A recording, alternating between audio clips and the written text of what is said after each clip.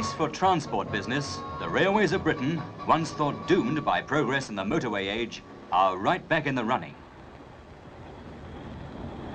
The lines across the face of the nation that pioneered railways are changing. And so are the engines. The vintage locos of a dying era are gradually being run off the tracks into retirement.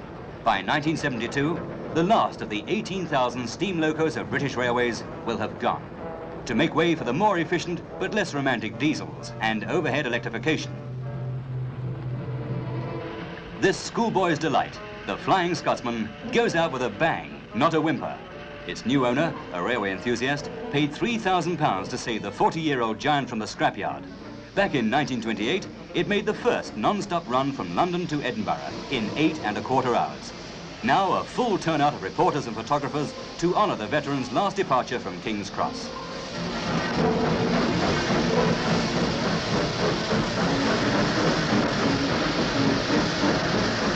With fire in his belly, the old Scotsman became a legend in its own time. Today's Scotsman is a 3,300 horsepower diesel capable of 100 miles an hour that makes London to Edinburgh in six hours flat and pulling a heavier train. On many routes, diesels are saving 10 to 15 minutes in the hour.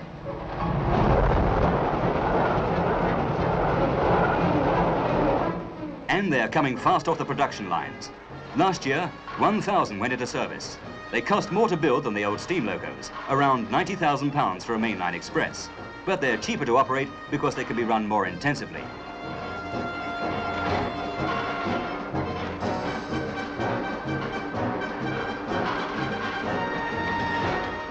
One diesel can do more than twice the work of the old steam loco. It all adds up to a technical revolution. And at the heart of it, drivers like Stan Bagley. For them, it's back to school, to learn new skills, to convert from the grimy footplate world of yesterday to the press button tidiness of today.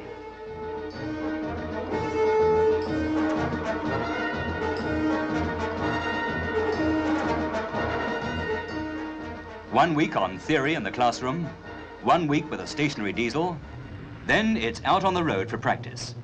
Many drivers miss the personal touch that was needed to coax the best out of the old steamers. But not many would want to go back to them, and they're agreed that diesels are a lot easier to handle.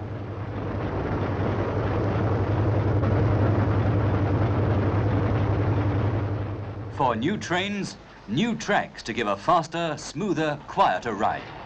Tracks already welded into lengths of up to 300 feet, the sleepers and rails joined at the depot. Tracks with concrete sleepers in place of the old timber kind, and rubber pads to cushion the vibration. Long welded track like this is being laid at the rate of 300 miles a year. But it'll be a long time before passengers no longer hear the monotonous clickety-click of wheels on rails. There are 48,000 miles of track in Britain.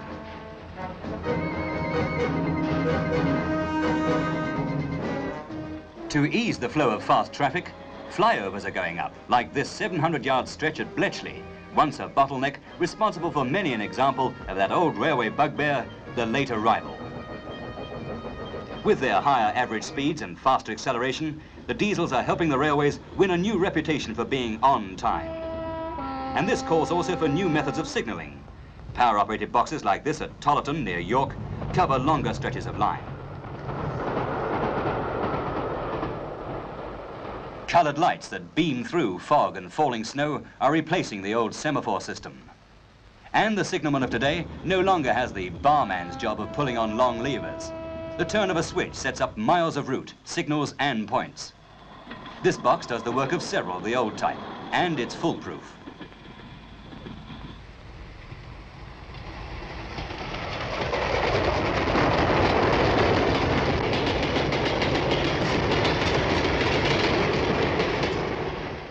There's another safety device for the driver, an automatic warning system. If the distant signal shows clear, a bell sounds in the cab. If it's a caution, a siren sounds.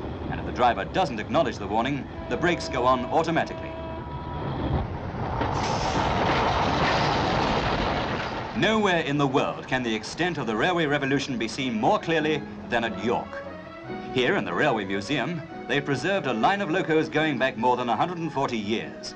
Here are colliery engines and ancient expresses that steamed their way into the history of a nation. Flyers from the pioneering days when the race was on to win business and confidence and to open up exciting new routes from London to Scotland. Even before the turn of the century, one proud flyer charged the 80 miles from York to Newcastle in 79 minutes.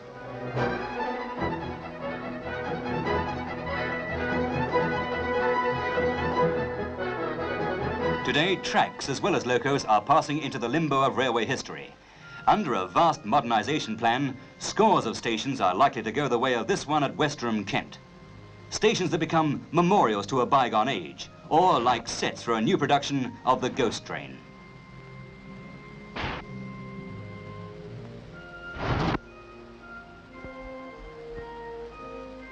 Here at Carlisle are the mothballed ironclads of yesterday, their fires drawn forever. A fate worse than shunting awaits them, for each represents more than 100 tons of scrap when the yards can get round to dealing with it. But some old locos never die, nor do they fade away, certainly not on the Bluebell line. When British Railways closed the Sussex branch line in 1958, a group of railway enthusiasts reopened part of it between Sheffield Park and Horsted Keynes for weekend working. Now it's a tourist attraction turning in a profit.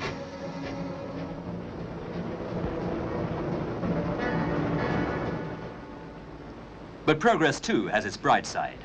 It's not only steam that's going, but smoke and soot-grimed stations. With the emphasis on high-speed, non-stop services between cities, the railmen are moving into the world of the image makers. They talk of fast trains, smooth trains, trains that run to time. It's possible now to ride in trains and keep your clothes clean. For the long-suffering passengers who make a thousand million train journeys a year, the revolution has come none too soon.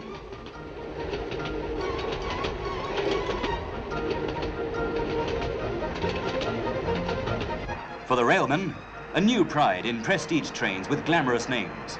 The Red Dragon, the Elizabethan, the Cornish Riviera Express, and a host of others.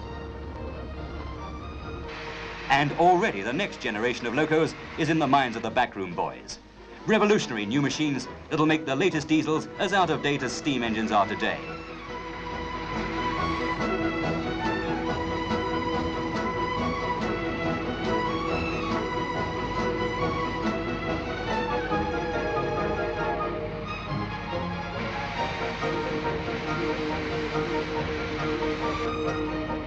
This is the linear induction motor, developed at Manchester University for the Railways Board.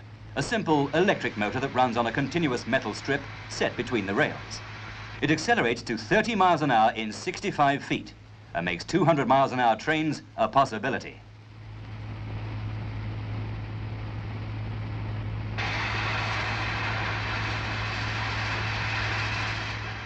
Meanwhile, it's the diesel that's making the running and helping to haul the railways out of the red.